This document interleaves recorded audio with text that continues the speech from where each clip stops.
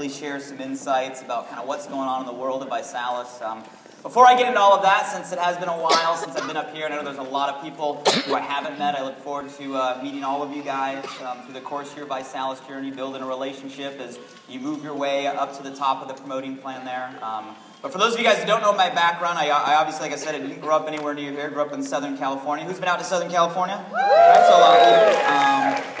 And uh, grew up out there, very, uh, very average upbringing. Matter of fact, a lot of people, when they meet myself, Nick and Ryan, right, there's three co-founders of the company, we're all relatively young, and they look at the results that Visalus has generated in what appears to be a short amount of time. People assume we all came from some business background or business pedigree.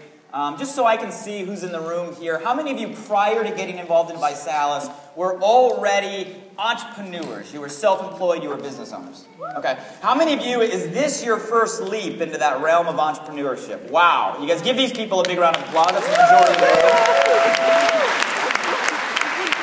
For those of you guys that just raised your hand, my story's probably more like yours. If you were to consider, you know, growing up in an entrepreneurial environment, I would have grown up in the environment completely on the other side of the spectrum. Ultra conservative, very strict by the book. Matter of fact, my mom is a principal, my dad was a cop. Not meant to be a joke, but you can laugh at my pain. I appreciate that. Um, So when I say by the book, I mean by. Ryan still makes fun of me. He goes, Blake, when you were a bad kid, did your mom give you F's and your dad give you tickets? You know, I was like. Laugh at my expense again. I appreciate it. So when I say by the book, I mean by the book, and, and I was taught from a very young age that in order to be successful, because I wanted to be successful. How many of you guys, when you were growing up, you wanted to be successful, right? I think, I think most of us, right, from a young age, we, we don't want to grow up and be not successful. That's not an aspiration or a goal, right? We want to grow up and be what? Successful. successful. And I remember following everything that I was taught growing up. And for me, at a young age, success meant I had to be smart. It meant the grades that I brought home to the family. Any of you guys grew up in an environment where grades and how you did in school was really stressed or really important, right? And I followed that to an absolute T. An absolute T right? I mean, I can still walk into my elementary school and see my name on a plaque as the outstanding sixth grader. I can still walk into my high school and see my name on a plaque as a student body president. I graduated there with a 4.2 GPA. I went to a top six university down there in the States. I got degrees in political science with an emphasis in public law and a minor in psychology. I did all of that in a total of three years Latin honors. Wow. Yeah. You say wow, I say why.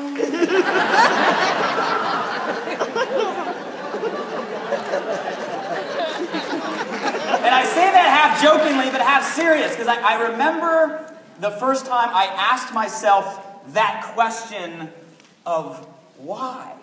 I was 19 years old, and I saw myself going through the overachiever, right? Doing all of this, building the resume. And I said, why am I doing all of this? And that question was a turning point in my own life because the only answer that I could give myself at that time is I was doing all of that because that's what I thought I was supposed to do. Yep. You know, it's interesting. At, this stage of my life, I meet a lot of people. I meet a lot of people all over North America. Right? A lot of you guys know just in the next couple weeks, I'll be in 25 different cities myself, 72 counting my partners, going all over the place. And I meet a lot of people, and I, I can agree that not many people can grow up in that strict of an environment. They don't relate to maybe everything that I did, but a lot of people do relate to their still today waking up, going through their days, doing things because they think that's what they're supposed, supposed to do. It's not what they want to do. It's not that they wake up every day and they're passionate about life after hitting snooze 18 times on the alarm clock. It's not that they're going to bed every night fulfilled saying, you know what, this is what I was put on this planet to do, this is what I was meant to do. A lot of people get stuck in motions and stuck in routines because they feel that's what they're supposed to do. I came up with a personal philosophy that when you stop doing what you think you're supposed to do and you start doing what you were really meant to do, that's when the script ends and that's when life really begins. I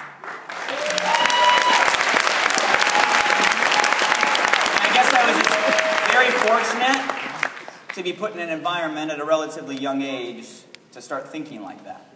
Got put in an environment similar to what you guys are in right now with Visalus all of a sudden I saw that there was another way, that entrepreneurship was really the vehicle, that if you put yourself in the right environment, anything is possible. Parents in the room, how many of you would agree that you become like those you surround yourself with?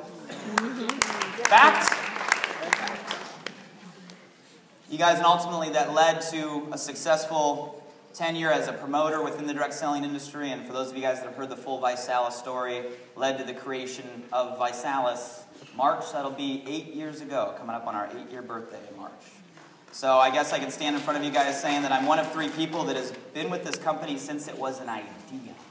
Wow. How many of you have ever had a good idea before? How many of you have ever taken a shower before?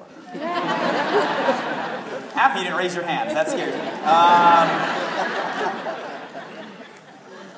we all have good ideas, but to be able to watch an idea become reality and then go beyond reality and really become a movement, which is what I feel we're a part of today, has been an exciting and very humbling thing.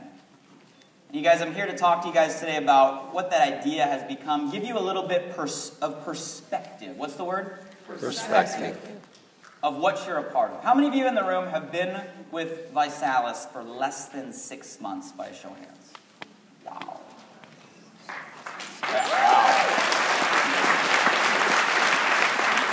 How many of you have been with us less than a year? Guys, look around the room. Raise your hand if you've been with us for more than a year. Awesome. Wow. Very, very cool. Very, very cool. So we got a lot of people from a broad range in the room here today. Because I'm going to share with you some numbers, some perspective, for a couple different reasons. Number one is these are great numbers to write down because I believe documentation beats conversation any day of the week. It's also good for you to have that perspective so you know what you're a part of and what you're coming into as a promoter, whether it's six months ago, 12 months ago, or you got dragged down here this morning and you're still trying to figure out what all this is about. Okay?